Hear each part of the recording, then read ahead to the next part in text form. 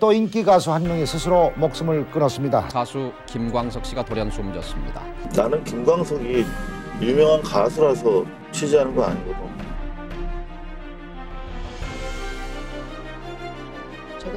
자살한 게 뭐가 중요하냐고. 죽음이나 어떻게 좀 밝히든가 기자면 사망 사건이 있던 현장에 대한 조사가 불철저했다. 실제로 그렇게 해서 죽을 수가 있느냐?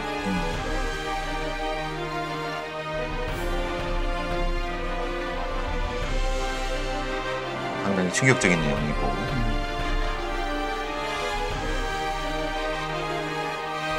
언론에는 공소시효 없잖아요.